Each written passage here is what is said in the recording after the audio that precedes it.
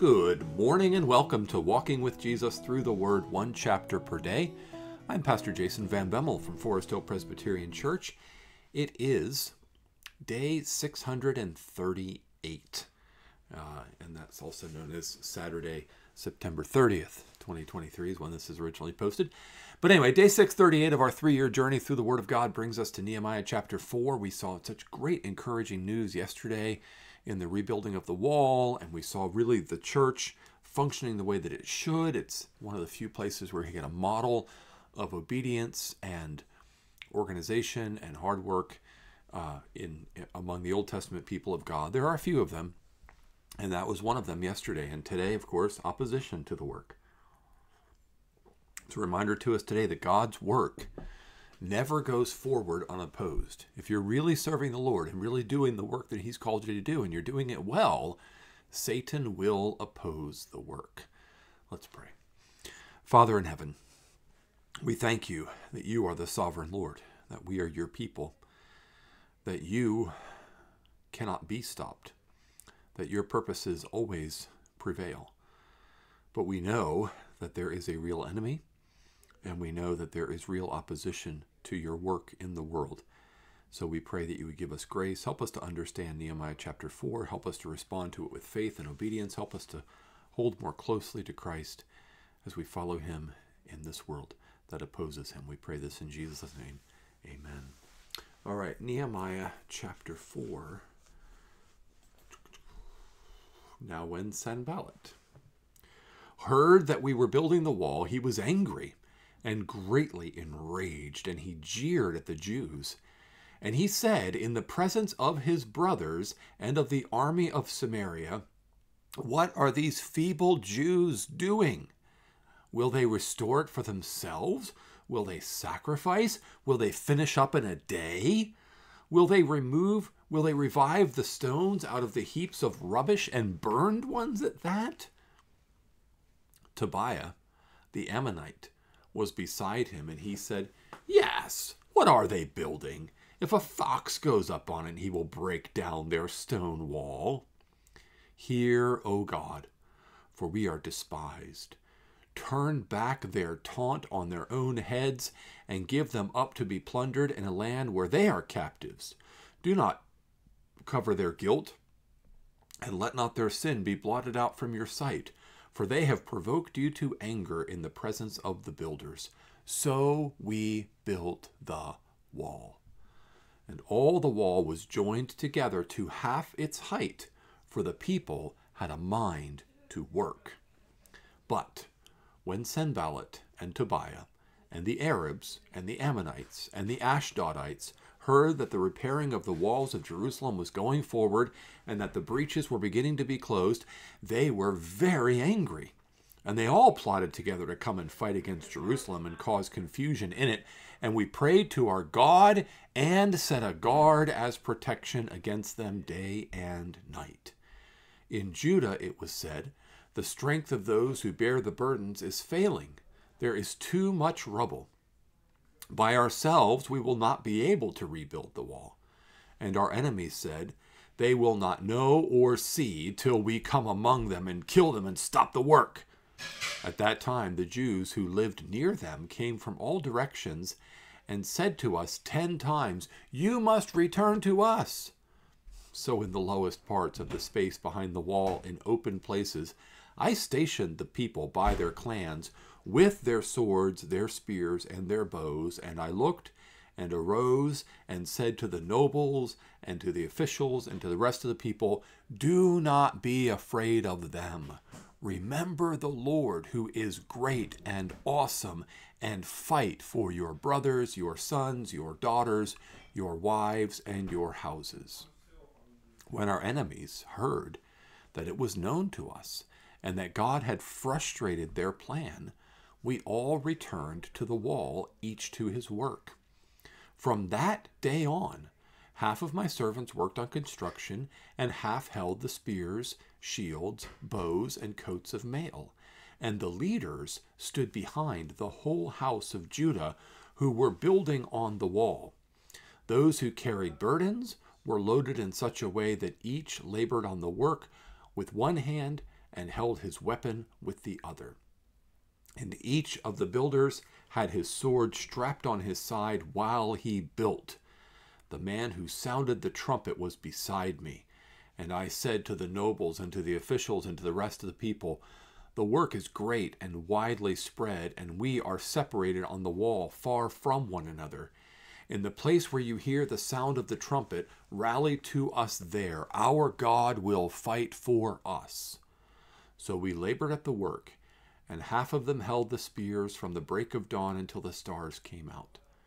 I also said to the people at that time, Let every man and his servant pass the night within Jerusalem, that they may be a guard for us by night, and may labor by day.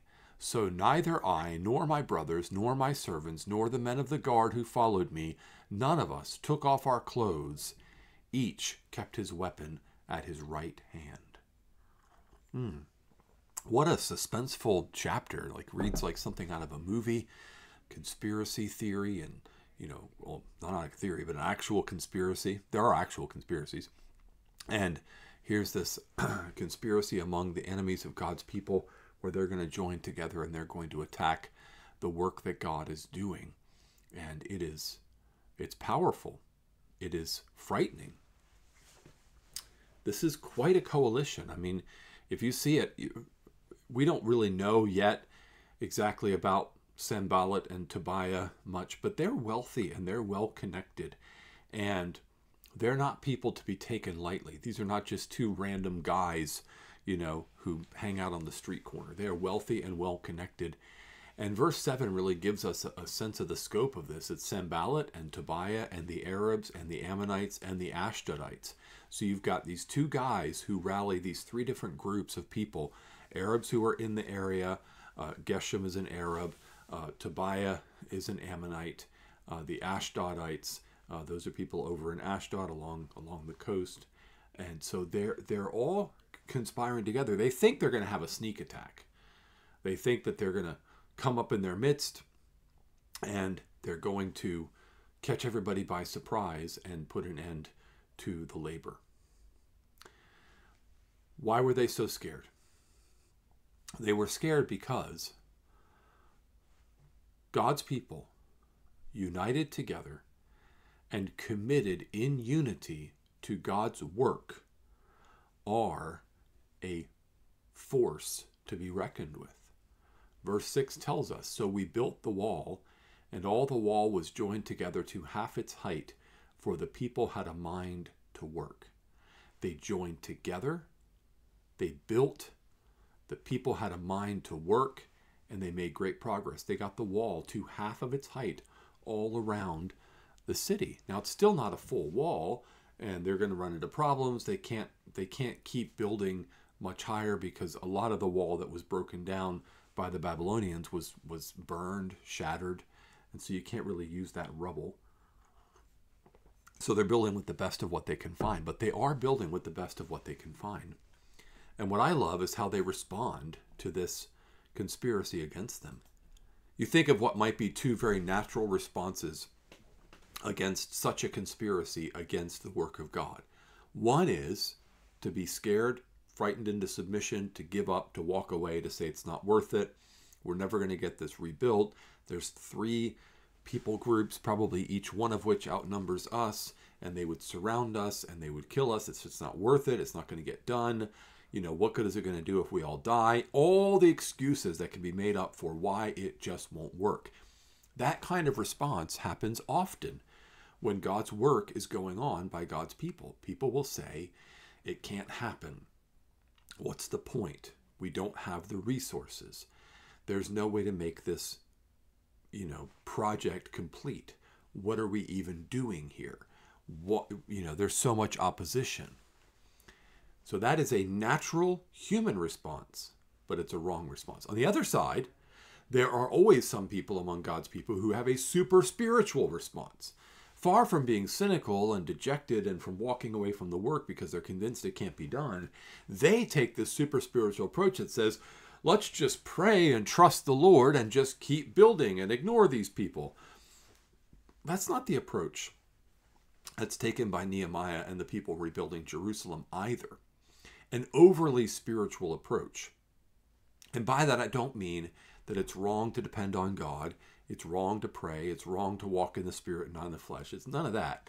But you can use this super super spiritual uh, language and this super spiritual thinking in a way that's unbiblical because God is the God of means. He provides means. And so they take action. They do pray. I love verse 9. We prayed to our God and set a guard as our protection against them day and night. They did pray. They did trust the Lord. Nehemiah looks at the people and the nobles and the officials and the rest of the people in verse 14 and he says, Do not be afraid of them. Remember the Lord who is great and awesome. So they do pray and they do preach, right? They pray to God together and they proclaim, Remember the Lord who is great and awesome. But they also set a guard. They also have a practical system of trumpets that are spread out.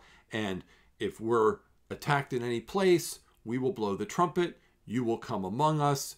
Uh, you will help us. And then they even, you know, were so diligent to say, everybody who's working on the wall. See, some people were not Jerusalem residents. They would go back to their home in the surrounding area. They said, everybody's working on the wall. We're all going to sleep inside Jerusalem, and we're all going to sleep with our weapons. And keep your clothes on, keep your sandals on your feet. We're just going to lay down and rest for as much as we can until we can get up and work hard the next day. So, from first light to last light, there's this working and this guarding going on. Your weapons for war in one hand and construction material in the other hand. People with bow and arrows stationed, people with trumpet stationed. The work does not stop. You labor with the work in one hand and the weapon in the other hand, and you don't stop working. And then at night, you have a guard and you keep everybody together. So this this is just a call to us that says biblical wisdom I think this is the main takeaway point from this passage for us. Biblical wisdom means we trust God, we proclaim God, and we make wise and diligent use of the means that God gives us to do the work of God. So we work and we are wise and we plan and we save and we invest and we contribute and we pray and we praise God and we trust Him for the provision. That's the way the work of God goes forward. Neither with a cynical despair, nor with a super spiritual over spiritualizing of everything, but with a rather a firm reliance upon God and a diligent use of the means of wisdom that He gives to us. May God use that to help us to be more faithful in the work of the Lord in every aspect of it. Let's pray. Father in heaven, thank you so much for your love for us. Thank you for giving us life in your Son, Jesus Christ. Thank you for calling us to be a part of your church. Thank you for giving your church good work to do. Help us to be diligent and faithful in the work that you give us. We pray this in Jesus' name. Amen. All right, that is Nehemiah chapter 4. Tomorrow, actually, we're going to go back to the Psalms. Go back to the Psalms, easy for you to say. Psalm 94 is on tap for tomorrow. Hope you can join me for that. Have a blessed day in the Lord.